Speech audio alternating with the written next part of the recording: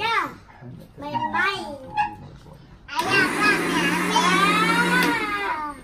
Ini daun pokok bidara. Oh, ayah banyak main-main.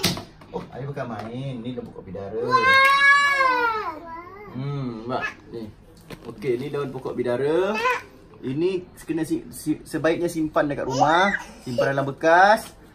Nanti bila nak mandi, campurkan sikit air mandian, lepas tu minum satu sudu. Eh? Ha, InsyaAllah jika kena gangguan sihir, uh, gangguan makhluk halus tu, insya-Allah dengan izin Allah uh, kalau kita gunakan daun ni sebagai uh, kita punya amalan mandian kita, air mandian, uh, kita minum sikit.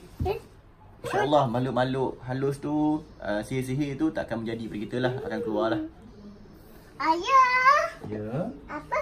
Ni uduk. Ini daun pokok bidara. Uduk ayah. Nanti kita letak dalam dalam baik dalam Wow. uh, dalam kolam boleh mandi. Hmm. Ha, nampak tak? Oh, bau dia sedap eh. Hmm. Ayah nak bau. Sedap bau dia. Bau. Sedap tak bau dia baby? Ada. Hmm, okey. Ada oh, imam tu. Eh, yang goyang goyang. Macam, Baby. macam limau. Macam imam. Bukanlah, bukan limau lah sayang. Ayah macam macam macam pokok bidara. Memanglah kat bidara kat depan rumah kita. Payah tanam. Aduh. Besar. InsyaAllah uh, ni, ni simpanan kita, stok kita. Nanti insyaAllah dah habis kita buat lagi. Okey, terbaik.